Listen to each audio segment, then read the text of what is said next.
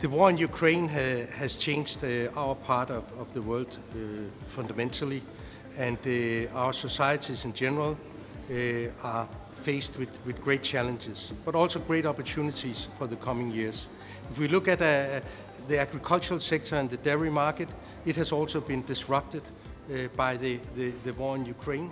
And at the same time, uh, our agricultural industries are facing uh, the need of adapting also to, to the climate uh, challenge. So more than ever, our societies and our agricultural industries, they need to adapt and reform.